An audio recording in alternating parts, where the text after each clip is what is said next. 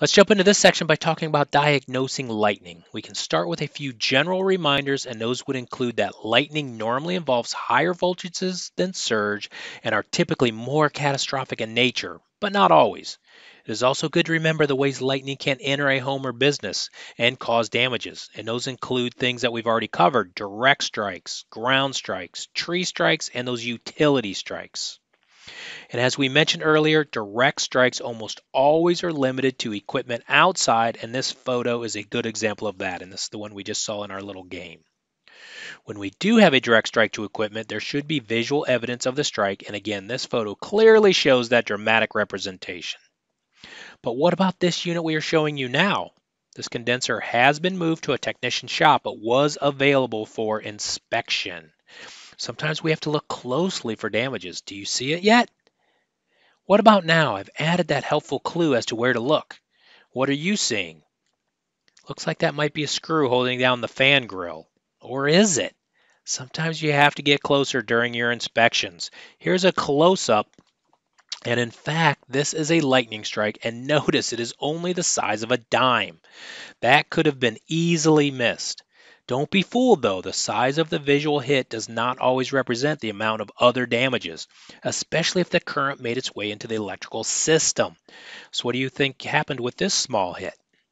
There was enough energy for it to jump a clear space inside the unit and hit the reversing valve and a refrigerant distribution tube. I'm sorry for the blurry picture, but you can see the catastrophic damages, and it did have plenty of power to melt some of that valve and copper tubing, allowing the refrigerant to escape. But it did not stop there. Reversing valves are connected by low voltage wires, and those wires allowed the lightning to make its way to other components in this unit and then into the home, causing damages to several household appliances and consumer electronics. So this does reinforce that even small visual strikes can cause multiple types of damages. As with that last example, when lightning does find its way into the indoor equipment, it generally will leave visual evidence of its path, and there are a couple ways it might present itself when that excess energy exits the system. This photo shows the exit in a form of arcing on this control board in two separate areas. But there is another visual cue of interior lightning damage which has an even more unique signature, and that is ghosting. Notice this looks different, and the reason being is that the energy was not in the electrical system but was traveling through this small metal conduit called electrical metallic tubing or EMT. The energy was not in the wires, and they were not damaged. So, what is going on in this photo?